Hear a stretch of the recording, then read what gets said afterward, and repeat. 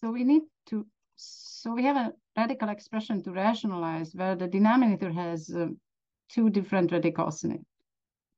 But the concept is the same. We multiply upstairs and downstairs by the, by the conjugate of the denominator and thereby rationalize the expression. So we multiply upstairs and downstairs by root 8 minus root 40. So the denominator, because we're multiplying conjugates, is going to be the square of the first one minus the square of the sec second one. And then we have a little bit of distribution to do in the numerator. So the denominator is going to be 9 times 8 minus 40. 9 times 8 is 72, and 72 minus 40 is 32. Now the numerator is 9 times 8 minus 3 times square root of 8 times square root of 40.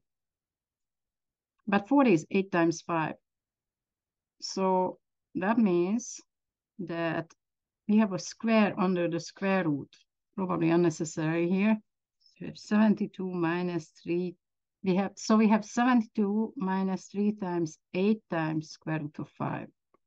So that's 72 minus 24 times square root of 5 divided by 32, which looks much simpler because instead of two different radicals, there is just one.